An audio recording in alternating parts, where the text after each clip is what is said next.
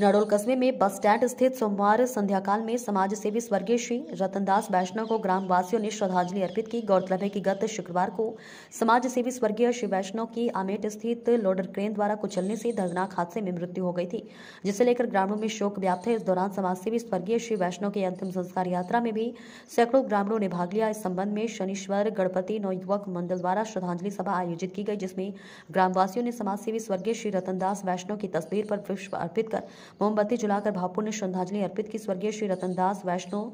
शनीश्वर गणपति नवयुवक मंचल के अध्यक्ष थे वे साथ ही समाज सेवी जनहित थे एवं धार्मिक कार्यक्रमों में सदैव तत्पर रहते थे स्वर्गीय श्री वैष्णव के श्रद्धांजलि सभा कार्यक्रम में शनीश्वर गणपति नवयुवक मंडल के समस्त सदस्यों सहित समाज सेवी जनप्रतिनिधियों एवं महिला शक्ति एवं बड़ी संख्या में ग्रामवासियों ने भाग लिया